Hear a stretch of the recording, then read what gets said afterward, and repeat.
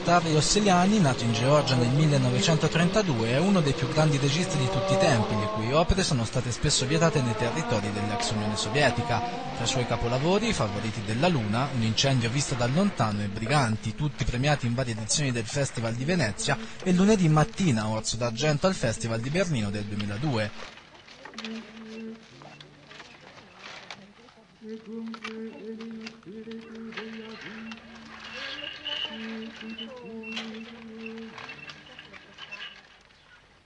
Tra le sue opere anche un piccolo monastero in Toscana del 1988, ambientato nella campagna di Montalcino, che il critico Tullio Chezic ha definito una metafora gentile della vita semplice e del quale state vedendo alcune immagini.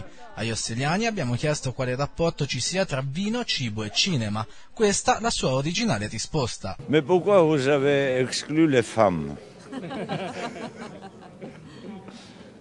Il ne faut pas exclure les dames. D'abord les dames, après, après autre chose. Là. Mais pourquoi vous avez exclu euh, la beauté de la musique? Pourquoi vous avez exclu la beauté de l'art euh, pictural?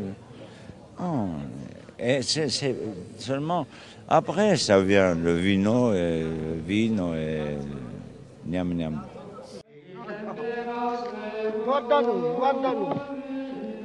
Beve, la beve ancora. Vieni, vieni. No, no, te piglia il pane, lo do io. Porco. Guarda, guarda.